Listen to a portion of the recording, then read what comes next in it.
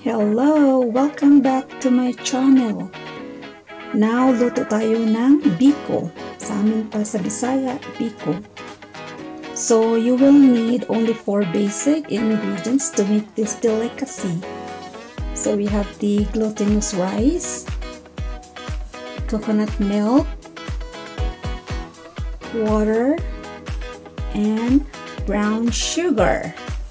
So, 3 cans ang gagamitin kong um, coconut milk kasi 5 cups tong ano ko. Um, malagkit ko or glutinous rice. Mix with glutinous rice na brown or black. So ready ko na siya i-ano hugasan yung glutinous rice So, giluto na nato ang atong malagkit or pilit. So, wait na lang nato nga maluto siya. So, karon ato nang i-prepare ang atong latik. No? The coconut milk and the brown sugar. Yan. Karon, naglatik na ta. Ato na ning sagol ang brown sugar. so brown sugar 2 and half cups no?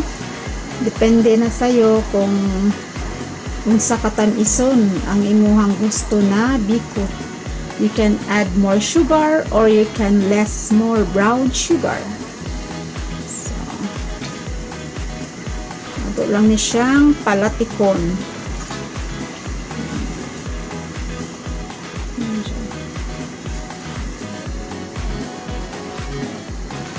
So, wait lang na to nga maglatik na siya.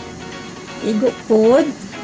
Maluto ang atong pilit or malagkit, no? Or glutinous rice.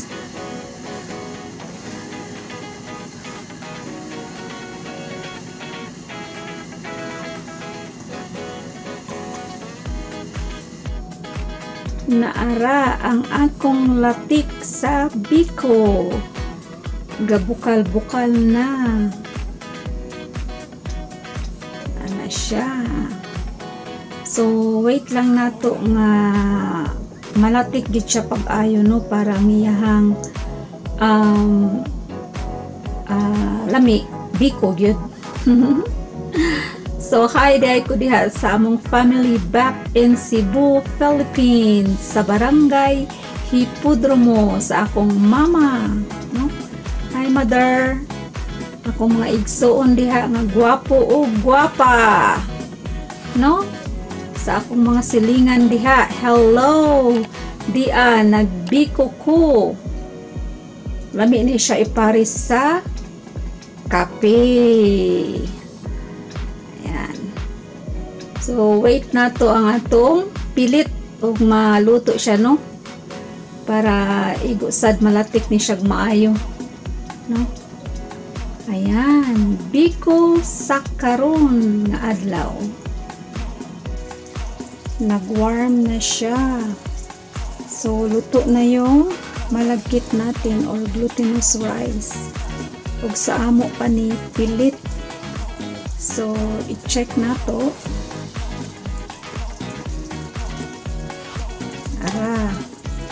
luto na siya. No? May tapol. So, wait na lang nato nga maluto ang atong latik na giluto. Nga malatik gid siya. So, mo ni siya ang latik. No? Yan. Malatik na siya.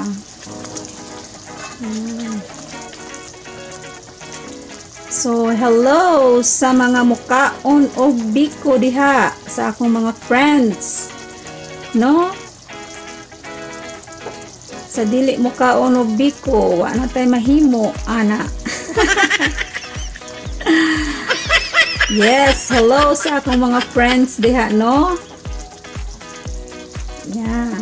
Mga unta ninyo biko sa akong mga amiga o amigo. No? Mga kaibigan. Biko, biko. For today. Ayan siya. So, oh, haluin mo na pang.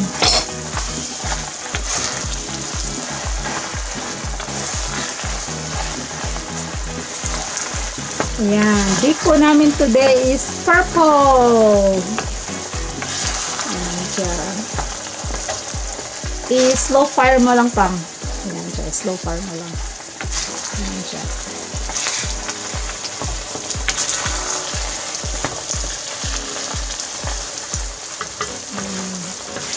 Pinaghalo-halo na niya sa latik o ang pilit. Ayan siya.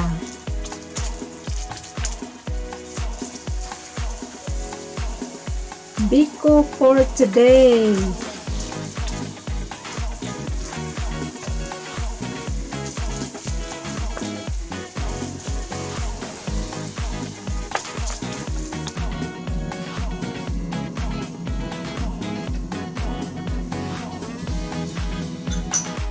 Now, lagyan natin ng latik sa ibabaw. Yan siya.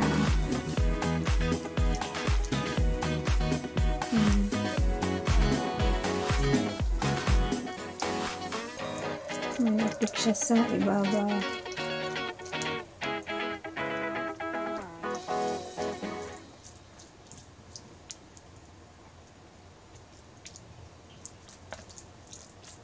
Ayan. Biko.